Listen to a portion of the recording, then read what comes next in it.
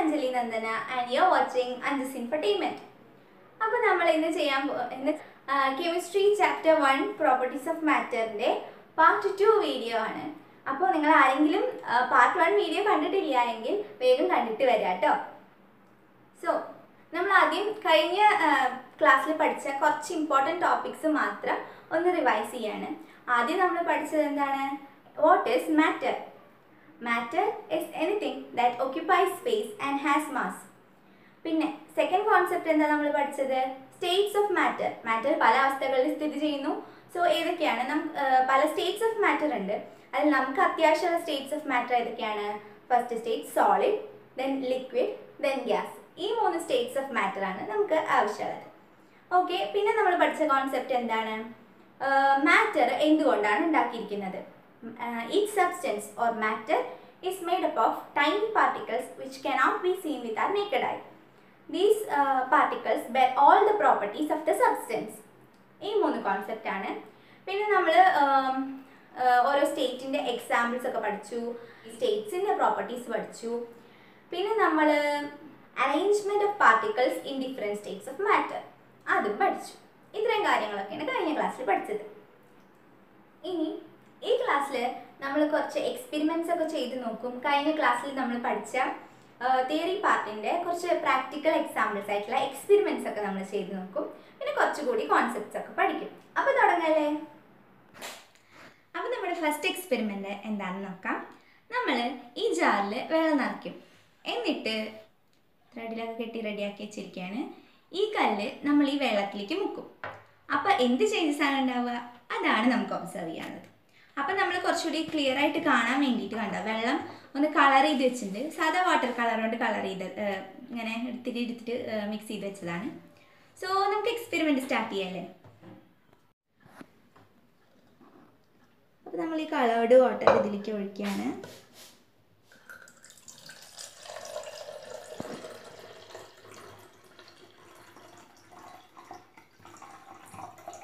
നമുക്കിവിടെ മാർക്കിങ്സ് കാണാം. ഇത് നമ്മൾ മില്ലി ലിറ്ററിലാണ് മാർക്ക് ചെയ്യേണ്ടത് സോ നമ്മൾ ഓൾമോസ്റ്റ് ഒരു ടു ഫിഫ്റ്റി മില്ലി ലിറ്റർ എടുത്തിട്ടുണ്ട് വെള്ളം. ഇനി ഇതിപ്പോൾ കളേർഡ് വാട്ടർ തന്നെ വേണമെന്നില്ല കേട്ടോ. നിങ്ങൾക്ക് സാധാ വെള്ളം കൊണ്ട് ചെയ്യാം. കുഴപ്പമില്ല. ഇനി നമ്മൾ ഇതാണ്ടോ കല്ല് മുക്കണക്ക്. അപ്പോൾ കല്ല് മുക്കണേക്ക് മുന്നേ almost two fifty M L ആയിരുന്നു. ഇനി മുക്കി കഴിയുമ്പോൾ നോക്കിക്കോളൂ കേട്ടോ. കണ്ടോ വാട്ടർ ലെവൽ ഇൻക്രീസ് ചെയ്തു. ടു ഫിഫ്റ്റീനെക്കാട്ടിലും കൂടിയില്ലേ? Water level raised due to this reason that the stone needs space to occupy നമ്മുടെ സ്റ്റോണിന് മാസ് ഉണ്ട്. അപ്പോൾ അതിപ്പോൾ അതുപോലെ തന്നെ അതിന് ഒക്യുപ്പൈ ചെയ്യാൻ സ്പേസ് വേണം. അതുകൊണ്ടാണ് ഈ വാട്ടർ ലെവൽ കൂടിയത്. ഈ കൂടിയ വാട്ടർ ലെവൽ സ്റ്റോൺ ഒക്യുപ്പൈ ചെയ്യുന്ന സ്പേസിന് ഈക്വലന്റ് ആണ്. ഈ ഗ്ലാസ് ഇതിപ്പോൾ പ്ലെയിൻ ഗ്ലാസ് ആണ്. ഇതിന്റെ ഉള്ളിൽ എന്താ പറയുക ഡ്രൈ നല്ല ഉണങ്ങിയിട്ടുള്ള സാധാ ഒരു ഗ്ലാസ് ആണ്. ഇനി ഇതിന്റെ ഉള്ളിലേക്ക് നമ്മൾ ഈ പേപ്പർ ചുറ്റി കൂട്ടിയിട്ട് ക്രമ്പിൾഡ് ആക്കിയിട്ട് വെക്കാൻ പോവാണ്. നല്ലോണം അമർത്തി വെച്ചു. അപ്പോൾ ഇങ്ങനെ ആക്കിയത് വീഴില്ലാത്തുള്ള അങ്ങനെ രീതിയിൽ വെച്ചു. ഇനി നമ്മൾ നേ നമ്മൾ ഇതിലേക്ക് ഈ വെള്ളത്തിലേക്ക് ഈ ഗ്ലാസ് മുക്കാൻ പോവാണ്. അപ്പോൾ ഇതിന്റെ ഉള്ളിലത്തെ പേപ്പർ നനയോ? അത് നമുക്ക് നോക്കാം.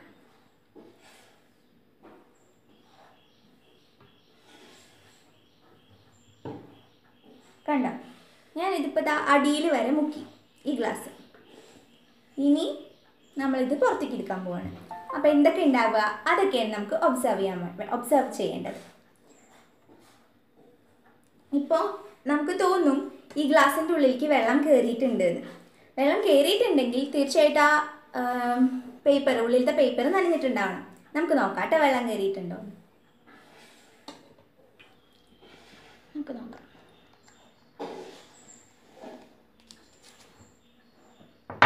നമുക്കിത് നോക്കാം കേട്ടോ. അല്ല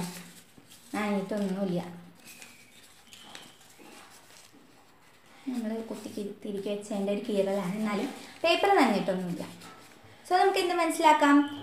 ഈ ഗ്ലാസിന്റെ ഉള്ളിലേക്ക് വെള്ളം കയറിയിട്ടില്ല ഇത് കളേർഡ് വാട്ടർ ആയതുകൊണ്ട് നമുക്കിത് കാണുമ്പോൾ വെള്ളം കയറി എന്നൊക്കെ തോന്നും. പക്ഷേ ഉള്ളിലേക്ക് വെള്ളം ഒരിത്തിരി പോലും കയറിയിട്ടില്ല അപ്പോൾ ഇതിൽ നിന്ന് നമുക്ക് എന്ത് മനസ്സിലാക്കാം? ഇതിന്റെ ഉള്ളിൽ എന്താണ്? എയർ ഉണ്ടായിരുന്നു. So air also need space to occupy അതുകൊണ്ടാണ് വേറൊരു കാര്യം കൂടി ശ്രദ്ധിച്ചോ? ഈ വാട്ടർ ലെവൽ നമ്മൾ നമ്മളിത് മുക്കിയപ്പോൾ വാട്ടർ ലെവൽ റൈസ് ചെയ്തു. ആ വെള്ള എയറിന്റെ പിന്നെ ഗ്ലാസിന്റെ കുറച്ച് വരും എന്നാലും അത്രയും തന്നെ വാട്ടർ ലെവൽ റൈസ് ചെയ്തു. So air also need space to occupy എന്ന് നമ്മൾ പഠിച്ചു.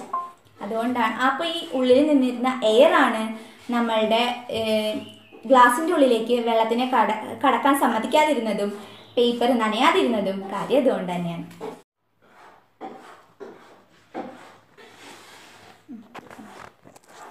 സോ അടുത്ത എക്സ്പെരിമെന്റ് നമുക്ക് ചെയ്യാനുള്ളത് പൊട്ടാഷ്യം പെർമാഗ്നേറ്റ് വെച്ചിട്ടാണ്. അതാണ് പൊട്ടാഷ്യം പെർമാഗ്നേറ്റ് മാഗ്നേറ്റ് ഇങ്ങനെ ഇരിക്കും കാണാൻ. ഇനി നമ്മൾ ഇതിന്ന് കുറച്ചെടുത്തിട്ട് വെള്ളത്തിൽ കുറച്ച് തരികൾ എടുത്തിട്ട് വെള്ളത്തിൽ കലക്കി നോക്കുകയാണ്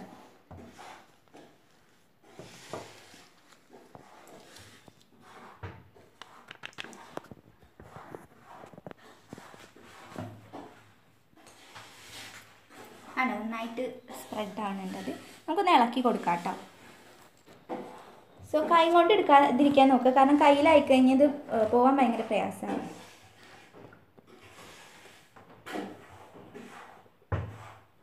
പൊട്ടാഷ്യം പെർമാഗ്നേറ്റ് നമ്മൾ ആദ്യം ഇട്ടപ്പോൾ ക്രിസ്റ്റൽസ് ആയിരുന്നു. ഇപ്പം നമ്മൾ വെള്ളത്തിലേക്ക് ഇട്ട ശേഷം അത് നന്നായിട്ട് അലിഞ്ഞു ചേർന്നു. അതായത് വയലറ്റ് കളർ ഈ വെള്ളത്തിലേക്ക് ചേർന്നിരിക്കുന്നു. സോ നമ്മൾ നേരത്തെ പറഞ്ഞ പ്രോപ്പർട്ടി തന്നെയാണ് ഇവിടെ ഉണ്ടായിരുന്നത്. ഇവിടെ അപ്ലിക്കബിൾ ആയിട്ടുള്ളത്.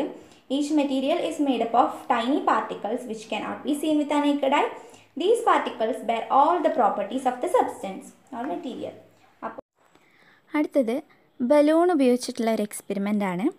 ആദ്യം നമ്മൾ ഒരു തേർട്ടി സെന്റിമീറ്റർ ലോങ് സ്കെയിൽ എടുക്കുക. എന്നിട്ട് അതിന്റെ രണ്ട് വശത്തായി രണ്ട് ബലൂൺ നൂലുപയോഗിച്ച് കെട്ടുക. സ്കെയിൽ ബാലൻസ് ചെയ്യുക. എന്നിട്ട് ഒരു ബലൂണിൽ സെല്ലോ ടേപ്പ് ഒട്ടിക്കുക ബലൂണിന്റെ കെട്ടി വരുന്ന ഭാഗത്തിന്റെ അടുത്തായിട്ട് സെല്ലോ ടേപ്പ് ഒട്ടിക്കാൻ ശ്രദ്ധിക്കണം കേട്ടോ. എന്നിട്ട് സെല്ലോ ടേപ്പിലൂടെ ഒരു ഹോൾ ഉണ്ടാക്കുക. അപ്പോൾ എന്ത് സംഭവിക്കും? Balloon with hole rises up അത് മൂവ്സ് ഡൗൺ ദ്വാരമുള്ള ബലൂൺ പൊന്തും മറ്റേ ബലൂൺ താഴുകയും ചെയ്യും. അപ്പോൾ നമുക്ക് എന്ത് മനസ്സിലായി? ഈ എക്സ്പെരിമെന്റിന്റെ ഇൻഫറൻസ് ഇതാണ്. എയർ ഹാസ് മാസ് വായുവിനും മാസ് ഉണ്ട് എന്ന് നമ്മൾ പഠിച്ചു.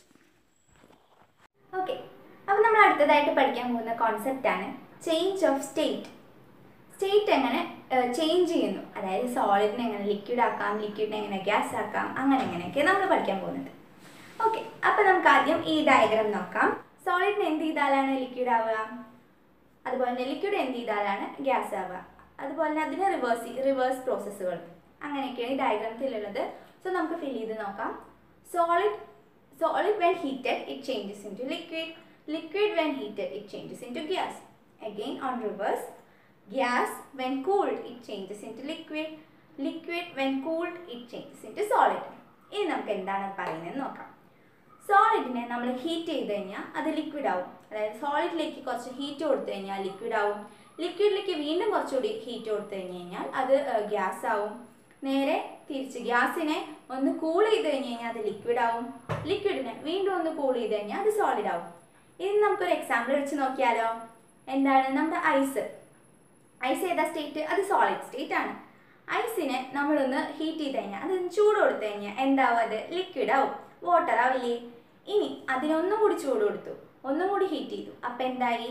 അത് വാട്ടർ വേപ്പറായി ഗേഷ്യസ് സ്റ്റേറ്റ് ആയി. ഗ്യാസായി ഇനി നമ്മൾ ഈ വാട്ടർ വേപ്പറിനെ ഒന്ന് തണുപ്പിച്ചു. നീരാവിനെ തണുപ്പിച്ചു കഴിഞ്ഞാൽ അതെന്താ ഉണ്ടാവുക? അത് വീണ്ടും നമുക്ക് ലിക്വിഡ് ആയി കിട്ടും. ഇനി അതിനൊന്നും കൂടി തണുപ്പിച്ചു. വാട്ടറിനെ ഒന്നും കൂടി തണുപ്പിച്ച് എന്താ ഉണ്ടാവുക? അത് ഐസായി കിട്ടി. അതാണ് ഈ ഡയഗ്രാം സിമ്പിൾ ആണ് അപ്പോൾ ഇമ്പോർട്ടന്റും ആണ്. അപ്പോൾ ജസ്റ്റ് നമ്മൾ ഈ എക്സാമ്പിൾ വെച്ച് തന്നെ ഒന്ന് ഓർത്ത് കഴിഞ്ഞാൽ നമുക്ക് ഈ കോളം തെറ്റുകൂടാതെ തന്നെ ഫിൽ ചെയ്യാൻ പറ്റും. അത്രയേ ഉള്ളൂ. ഓക്കെ സോ സിമിലർ ചേഞ്ചസ് ഒക്കെ ഇൻ ഓൾ സ്റ്റേറ്റ്സ് ഇതേപോലെ തന്നെ എല്ലാ സ്റ്റേറ്റുകളിലും ചേഞ്ചുകൾ ഉണ്ടാകുന്നുണ്ട്. നമ്മുടെ ടെക്സ്റ്റ് ബുക്കിൽ ഒരു ക്വസ്റ്റ്യൻ ഉണ്ട്. Which form of energy is responsible for the change of state here ഏത് ഫോം ഓഫ് എനർജിയാണ് ഈ അവസ്ഥാ മാറ്റങ്ങൾക്ക് കാരണം ഹീറ്റ് ആണ്. Heat is the form of energy which is responsible okay അപ്പോൾ movement of particles in solid liquid and gas മൂന്ന് figures കാണുന്നുണ്ടാവും. അതിൽ അതിൽ ടെക്സ്റ്റ് ബുക്കിലത്തെ ഒരു ക്വസ്റ്റ്യൻ ആണ് നമ്മൾ ഫിൽ ചെയ്യാൻ ആൻസർ ചെയ്യാൻ പോകുന്നത്. What are the changes to the following properties when heat is absorbed heat absorb ചെയ്യുമ്പോൾ പ്രോപ്പർട്ടീസുകൾക്ക് ഉണ്ടാകുന്ന വ്യത്യാസങ്ങൾ എന്തൊക്കെയാണെന്ന് അതായത് എനർജി ഓഫ് പാർട്ടിക്കിൾസ് ഹീറ്റ് കൊടുക്കുമ്പോൾ ഓരോ സ്റ്റേറ്റിലെയും എനർജി ഓഫ് പാർട്ടിക്കിൾസിന് എന്ത് ചേഞ്ചസ് ആണ് ഉണ്ടാവുക? അതുപോലെ രണ്ട് മൂന്ന് പ്രോപ്പർട്ടീസ് നമ്മൾക്ക് എന്ത് ചേഞ്ച് ആണ് ഉണ്ടാവുക എന്ന് ചോദിക്കുന്നുണ്ട്. നമുക്ക് ആൻസർ ചെയ്ത് നോക്കാം. When heat is absorb energy of particles increases. Distance between the particles increases attraction between the particles decreases and movement of particles increases. Heat കൊടുക്കുമ്പോൾ ചൂട് കൊടുക്കുമ്പോൾ എനർജി ഓഫ് പാർട്ടിക്കിൾസിന് എന്താണ് ഉണ്ടാവാന്ന്? പാർട്ടിക്കിൾസിന്റെ എനർജി കൂടും. അതെന്താണ് ഇപ്പം നമ്മളിത് പറഞ്ഞു ഹീറ്റ് കൊടുക്കുമ്പോൾ സോളിഡ് ലിക്വിഡായി മാറും. അപ്പോൾ എന്താണ്? അവിടുത്തെ പാർട്ടിക്കിൾസ് കുറച്ചുകൂടി ആക്റ്റീവായിട്ട് സഞ്ചരിക്കുകയാണ്. ആക്റ്റീവായിട്ട് നീങ്ങുകയല്ലേ? അപ്പോൾ അവിടെ എന്താണ്? എനർജി കൂടി എന്ന് പറയാം. സെക്കൻഡ് പോയിന്റ് ആണ് ഡിസ്റ്റൻസ് ബിറ്റ്വീൻ ദ പാർട്ടിക്കിൾസ് സോളിഡിൽ നിന്ന് നമുക്ക് ലിക്വിഡ് ആകുമ്പോൾ എന്താണ് നമ്മൾ പറഞ്ഞു? പാർട്ടിക്കിൾസ് അകന്നകന്ന് നിൽക്കുന്നുണ്ട്. So obviously distance between between the particles increases third point attraction between the particles attraction between the particles എന്തായാലും കുറയും കുറയുകയാണ് ചെയ്യുക പാർട്ടിക്കിൾസിന്റെ അട്രാക്ഷൻ കുറയ കുറയുമ്പോഴാണ് അത് അകന്നകന്ന് നിൽക്കുക. So attraction between the particles decreases and movement of particles movement of particles increases ഇത് ഒറ്റ simple നമ്മൾ ഏതെങ്കിലും ഒരു സ്റ്റേറ്റിനെ ആലോചിക്കുക. സോളിഡ് ടു ഹീറ്റ് അബ്സോർബ് ചെയ്യുമ്പോൾ സോളിഡ് ലിക്വിഡായിട്ട് മാറും. ഈ ഒരു സ്റ്റേറ്റ് വെച്ചിട്ട് ആലോചിച്ച് കഴിഞ്ഞാൽ ഈ പ്രോപ്പർട്ടീസ് ഒക്കെ നമുക്ക് എളുപ്പമായിട്ട് പറയാൻ പറ്റും. അത്രയേ സോ ഇൻ ജനറൽ നമുക്ക് എന്ത് മനസ്സിലായി? In all these states when heat is provided the energy and movement energy movement of particles and distance between the particles increases while attraction between the particles decreases. അതാണ് നമ്മൾ ഇപ്പോൾ നമുക്ക് നോക്കിയതിൽ നിന്ന് മനസ്സിലാക്കി അപ്പോൾ നമ്മൾ അടുത്ത ഇമ്പോർട്ടന്റ് കോൺസെപ്റ്റിലേക്ക് കടക്കുകയാണ്. എന്താണ്? സബ്ലിമേഷൻ ഇത് നമുക്ക് പുതിയതായിട്ട് പഠിക്കുന്നതാണ് ഈ കൊല്ലം. സബ്ലിമേഷൻ എന്ന് പറഞ്ഞാൽ എന്താണ്? It is the process by which when some solid substances are heated they change directly into gaseous state without forming liquid when the vapors of these substances are cooled they change directly into solid state. അപ്പോൾ എന്താ നമ്മൾ പറയുന്നത്? ചില solid substances ഉണ്ട്. അവയ്ക്ക് ചൂട് കൊടുത്തു കഴിഞ്ഞാൽ അവയെ ചൂടാക്കി കഴിഞ്ഞു കഴിഞ്ഞാൽ അവ ലിക്വിഡ് ആവാതെ ഡയറക്റ്റ്ലി ഗ്യാസായി മാറും. ഈ ഗ്യാസ് ഗേഷ്യസ് സബ്സ്റ്റൻസിന് ഈ കിട്ടിയ ഗ്യാസിനെ വീണ്ടും നമ്മളൊന്ന് കൂള കൂൾ ചെയ്യുകയാണെങ്കിൽ ലിക്വിഡ് ആവാതെ ഡയറക്റ്റായിട്ട് സോളിഡായിട്ട് മാറും. അങ്ങനത്തെ വസ്തുക്കളുടെ എക്സാമ്പിൾസ് ആണ് നാഫ്തലീൻ അഥവാ പാറ്റ ഗുളിക പിന്നെ അയോഡീൻ അതൊരു കെമിക്കൽ സബ്സ്റ്റൻസ് ആണ്. അയോഡീൻ പിന്നെ ക്യാംഫർ അഥവാ നമ്മുടെ കർപ്പൂരം. ഇതൊക്കെ എങ്ങനെയാണ്? ഹീറ്റ് ചെയ്ത് കഴിഞ്ഞാൽ അവ ലിക്വിഡ് ആവാതെ ഡയറക്റ്റ് ആയിട്ട് ഗ്യാസ് ആയിട്ട് പോകും. ഈ സബ്ലിമേഷൻ ഇനി ഇനി ഈ ചാപ്റ്ററിൽ തന്നെ നമുക്ക് ഒരു ഇമ്പോർട്ടന്റ് കോൺസെപ്റ്റ് ആയിട്ട് പഠിക്കാനുണ്ട്. മറ്റൊരു പോർഷനിൽ വരുന്നുണ്ട്. അപ്പോൾ നമുക്ക് കുറച്ചുകൂടി ഡീറ്റെയിൽ ആയിട്ട് ഡിസ്കസ് ചെയ്യാം. ഇനി നമ്മൾ പഠിക്കാൻ പോകുന്നത് some additional changes of states ആണ്. കുറച്ചുകൂടി നമ്മൾ പഠിച്ചതിനെക്കാട്ടും കുറച്ചുകൂടി കൂടുതലായിട്ടുള്ള സ്റ്റേറ്റ് ചേഞ്ചസ് സ്റ്റേറ്റിന്റെ ചേഞ്ചസും കൂടി ഉണ്ട്. നമ്മൾക്ക് അതും കൂടി പഠിക്കാം. സോ നമുക്ക് ഡയഗ്രാം നോക്കാം. ഇത് നമ്മുടെ ടെക്സ്റ്റ് ബുക്കിലുള്ള ഒരു ഡയഗ്രാമാണ് നമുക്ക് അതിനെ കുറച്ചുകൂടി ഒന്ന് സിംപ്ലറായിട്ട് രണ്ടായിട്ട് പറയാം. രണ്ട് ഡയഗ്രാമായിട്ട് സ്പ്ലിറ്റ് ചെയ്ത് പഠിച്ചാൽ അത് കുറച്ചുകൂടി എളുപ്പമുണ്ടാവും. സോ നമുക്ക് അങ്ങനെ പഠിക്കാം.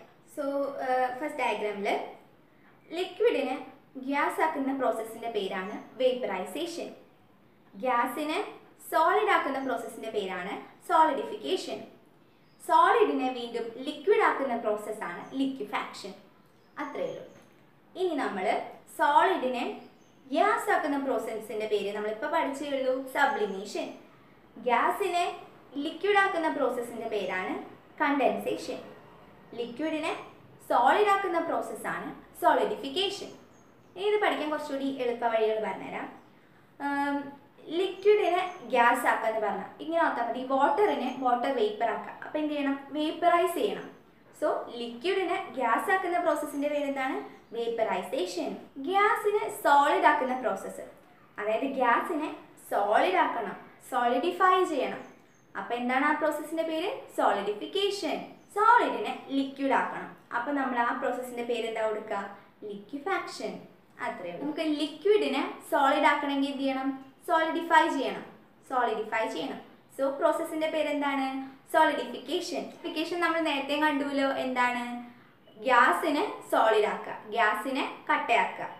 സോളിഡിഫിക്കേഷൻ അതും സോളിഡിഫിക്കേഷൻ ആണ്. ലിക്വിഡിനെ സോളിഡ് ആക്കുക. ലിക്വിഡിനെ കട്ടയാക്കുക. അതും സോളിഡിഫിക്കേഷൻ ആണ്. സോ അങ്ങനെയും കൂടി ഒന്ന് ഓർത്തിരിക്കാം. ഇനി അടുത്തത്.